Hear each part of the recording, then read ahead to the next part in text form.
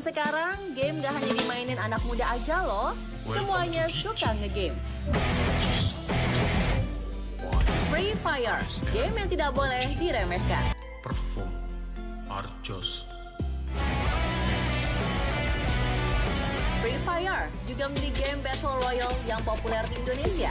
Ketenarannya menjadikan Free Fire sebagai salah satu game e-sport nasional.